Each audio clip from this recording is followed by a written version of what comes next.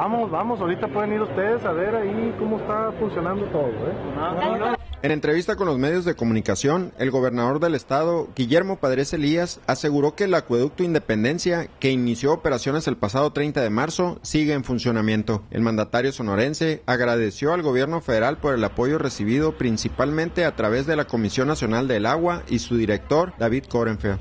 Tres días al reservorio y no sé, no, no había movimiento de agua y todo. No puede ser cierto eso.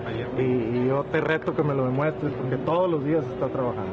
Ok. Personal de canalsonora.com se trasladó a las instalaciones del reservorio ubicadas al oriente de Hermosillo para constatar que efectivamente las bombas siguen trabajando y lo siguen llenando del vital líquido.